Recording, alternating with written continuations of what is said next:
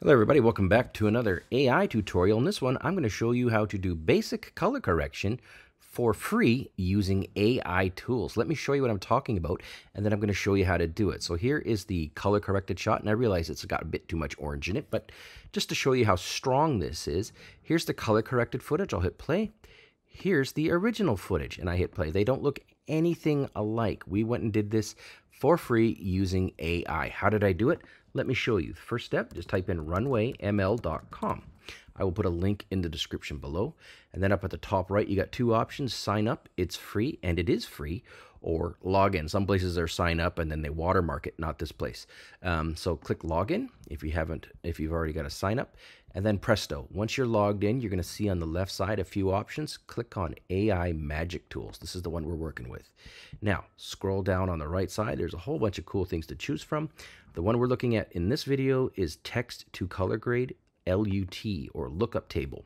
When you click on that, you're going to see this. Now you'll see that you can drag and drop your own footage in here. So if you have nothing, you can just go to your Finder or Explorer and drag and drop it in. I've already dropped a whole bunch of different things in here. So I'm just going to go ahead and, oops, I'm going to go back to where I was there. And I'm just going to go ahead and drag and drop that tiger footage in. So I'm just going to go ahead and grab it from here and just drop it in. And there we go. Now we've got this tiger looking all menacing, but you know what? It's not very good color.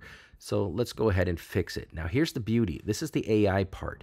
You can literally type in what you want it to look for. So, or look like, pardon me. So I'm going to go ahead and write orange and, oops, and teal, because this is the old, mm, you know, action movie type look. And then I hit generate.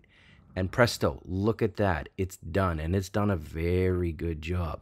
So that is all there is to it. You can do other things. For example, I'm going to go and type in Starry Night by Vincent van Gogh.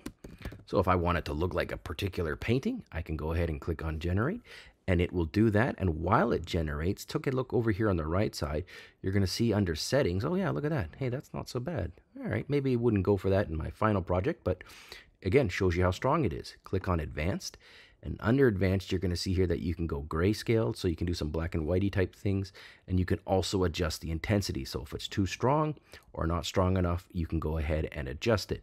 Also, you can toggle it to the, toggle it to the original, so you can just take a quick look. And lastly, if you don't like it, you can go ahead and click on the reset. Once you're done, let's go see toggle the process. I'm going to go ahead and click on that. I'm going to click on export and again, you can make some choices here. You can download it in standard definition, 720 or 1080p. 1080p is where they get you if you want to pay for it, but 720 still looks pretty darn good. Click export, and that's it. It's going to download for me. It's free. And if you need it to be, you know, 1080 or higher, you can always just upscale it in another program. That's all there is to it. Thanks for watching.